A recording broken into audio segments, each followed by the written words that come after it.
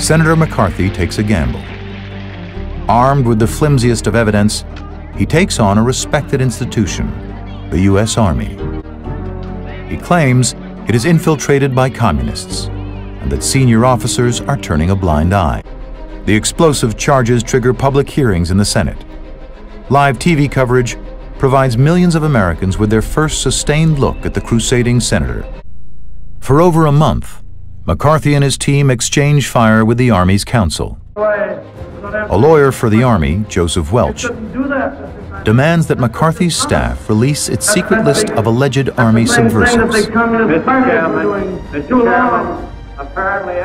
McCarthy responds by dredging up a past link between a young lawyer in Welch's firm and the Communist Party. Let us not assassinate this lad further, Senator. McCarthy's gamble, taking on the Army, backfires. His charges don't stick. Many in his own party turn against him.